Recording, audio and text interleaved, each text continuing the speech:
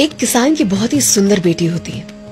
और उसे शादी करने की इच्छा में एक नौजवान उस किसान के पास पहुँचता है और कहता है, मुझे आपकी बेटी से शादी करनी है।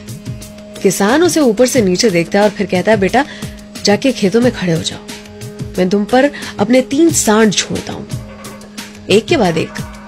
तीनों में से किसी एक सांड की भी अगर तुम पूछ पकड़ लेते हो तो मैं मेरी बेटी की शादी तुमसे करवा दूँगा। ये नौजवान जो था, वो खेतों में जा खड़ा होता है पोजीशन पकड़ता है और पहला दरवाज़ा जैसे ही खुलता है, वो देखता है खूखार सांड उसकी तरफ़ दौड़ते हुए आ रहा होता है। वो मनी मन सोचता है कि इससे पंगा लेना मतलब मौत को दावत देने जैसा होगा। मैं तो वही के वही मर जाऊँगा। वो सांड को जाने देता है, खुद खुद बाजू में खिसक लेता है। वो दूसरा दरवाज़ा खुलने की राह में होता है। और जब दूसरा दरवाज़ा खुलता है तो साक्षात मौत सामने खड़ी होती है। उसने अपने जीवन में इतना बड़ा कभी कुछ नहीं देखा था।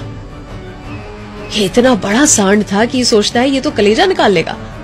और वो सांड उसकी आँखों में घूर कर उसे देख रहा होता है।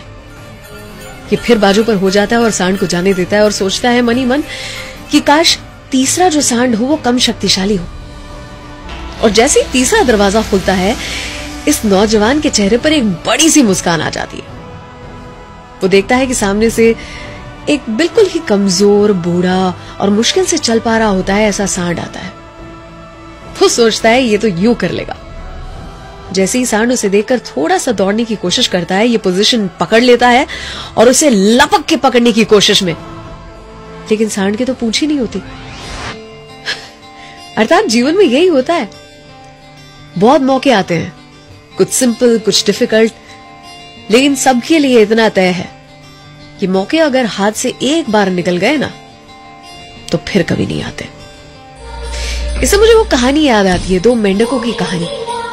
दोनों मेंढक जो थे, वो जंगल से पसार हो रहे होते हैं। अचानक से एक बहुत ही गहरे खड्डे में गिर जाते हैं। और दोनों उछलने की कोशिश कर रहे होते हैं, बाहर निकलने की कोशिश में। नीचे दलदल और उसके ऊपर काफ़ी सारे मेंढक ऑलरेडी होते हैं। सारे मेंढक कहते हैं, तुम दोनों उछलना बंद करो, हमारी मौत निश्चित है। दोनों में से एक उछलना बंद कर देता है। लेकिन दूसरा मेंढक उछलते रहता है। वो तुरंत बाहर निकल जाता है। और कारण सिर्फ़ इतना कि वो मेंढक जो है, वो बहरा होता है। अर्थात, जब दिल कहता है, ये हो सकता है, और दुनिया कहती है, नहीं हो सकता तो बहर हो जाओ। और जहाँ तक जीवन में कुछ अचीव करने का सवाल है, उस इंसान को गिराना बहुत ही मुश्किल है। उस इंसान को गिराना बहुत ही मुश्किल है, जैसे ठोकरों ने चलना सिखाया। अपॉर्चुनिटी की बात करें तो मैंने सड़क पर दो गरीब बच्चों को एक एक गुब्बारा दिया। एक ने उसे फोड़ दिया और दूसरे ने उसे बेच दिया। अपॉर्चुनिटी तो समान है, हम उसका क्या करते हैं? ये हम पर। સલામ, દુઆ, વણકમ, પ્રણામ, સત શ્રી અકાલ. કેમ છું? સારું છે? ભારત આખું એ મારું છે. અર્ચના કી ઓર સે